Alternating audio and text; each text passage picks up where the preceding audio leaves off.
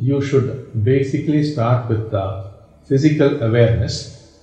It could deal with normal physical activities of which we are uh, quite unaware, uh, what we have made it uh, into a habit.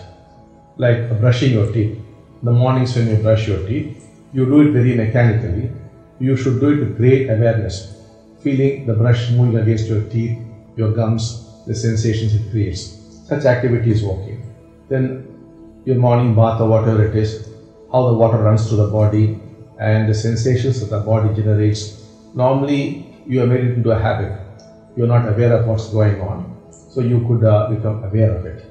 And then while eating, the mind tends to be distracted. Instead, you can focus on the food, its taste, its texture, its smell. You could do that.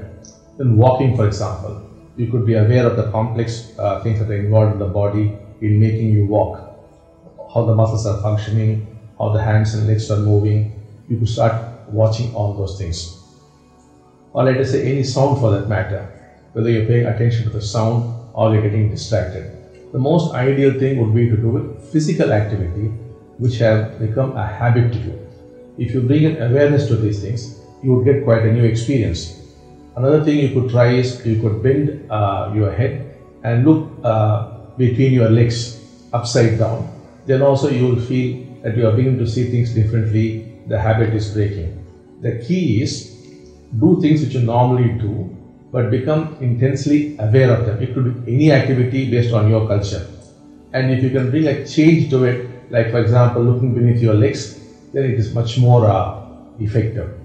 And uh, the other thing is to break the habit. Like for example, if you go for a morning walk, for a few days you could go for an evening walk then also the habit is likely to change.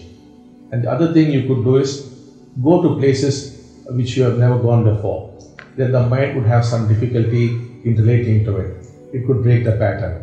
It could even be a marketplace, it could be a busy place, it could be anything.